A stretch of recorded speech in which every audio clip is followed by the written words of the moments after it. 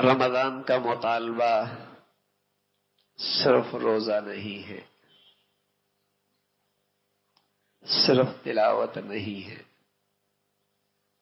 सिर्फ़ तरावी नहीं है।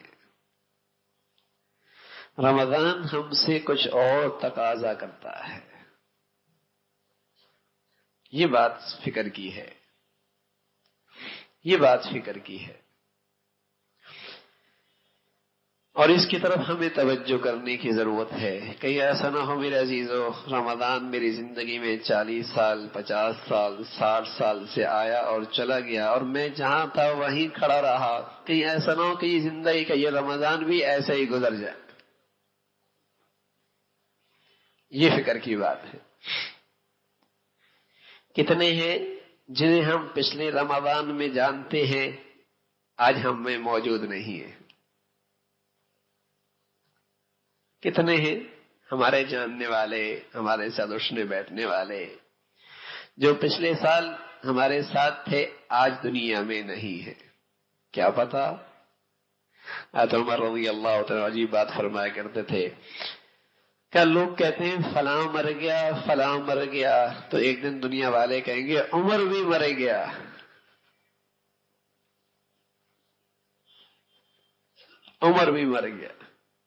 रबी अल्लाह तो हम हर रमज़ान कहते हैं हाँ आज वो नहीं है हमारे साथ।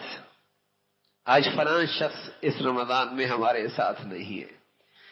तो कल कोई हमारे बारे में यही कहेगा कि वो हमारे साथ आज नहीं है।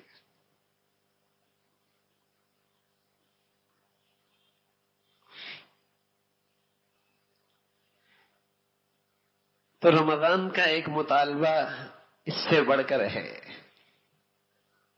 और उसकी फ़िक्र की बहुत ज़रूरत है। ऐसा ना हो कि ये मही रमज़ान भी आए और जैसे पहले आते चले गए और गुजरते चले गए।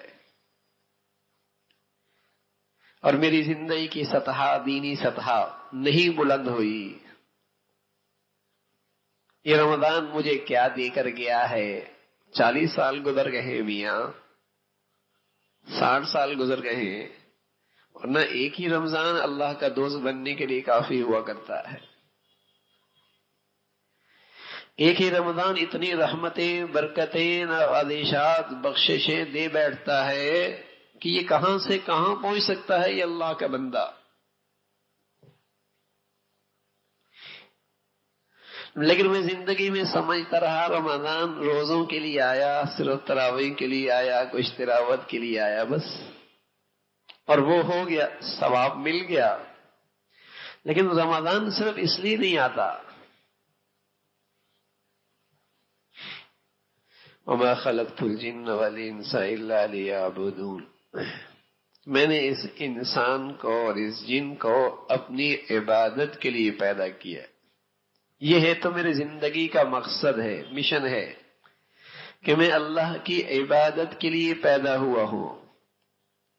अगर अल्लाह ये कहता कि इसमें कुछ नहीं करना सिवाय मेरे सामने सजदा रेज होने के तो ये भी ऐन ही इसकी ज़िंदगी के मकसद के मुताबिक था ये हकुम भी। इन अल्लाह मिनलमिन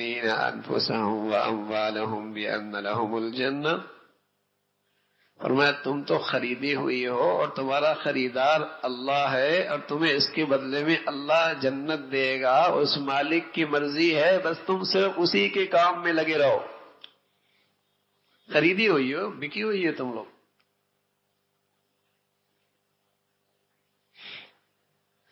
लेकिन अल्लाह रबुल इज़्ज़त ने फरमाया, ज़िंदगी का मकसद तो इबादत है।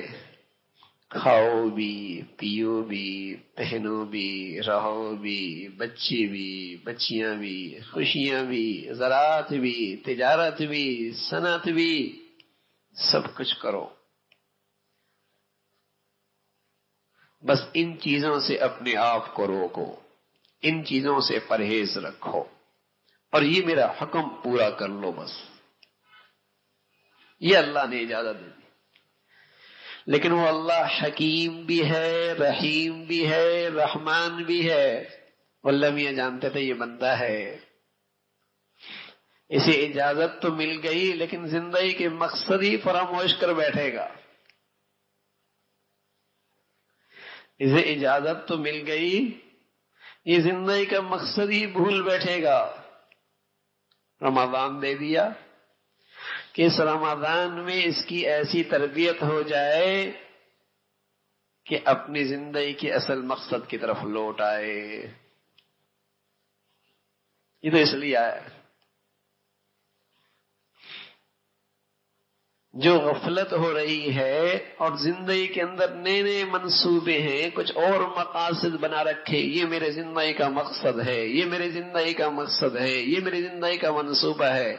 मैं यहाँ तक पहुँचना चाहता हूँ और जिसके लिए अल्लाह ने इसे पैदा किया, वो भूल बैठा है। तो अल्लाह तो मेहरबान है। हाँ अल्लाह तो मेहरबान है। वो कहा अपने बंदों को यूँ ही छोड़ता। रमादान का महीना दे दिया। इस बंदे की ऐसी तरबियत हो जाए, फिर अल्लाह की रहमतें भी, फिर अल्लाह की बरकतें भी, फिर रमादान की खसूसियत भी, ताकि ये बंदे की तरबियत हो जाए और अपनी ज़िंदगी के मकसद पे आ जाए। कि मेरा जीना मरने का मकसद अपने अल्लाह को राज़ी करना है। ये रोजों से बढ़कर, तलावत से बढ़कर, तलावत, तिलावत, तरावियों से बढ़कर अगला कदम है कि मैंने अपनी ज़िंदगी के मकसद पे आना है।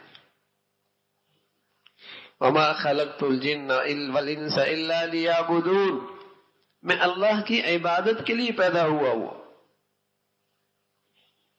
मेरी ज़िंदगी का मिशन ये है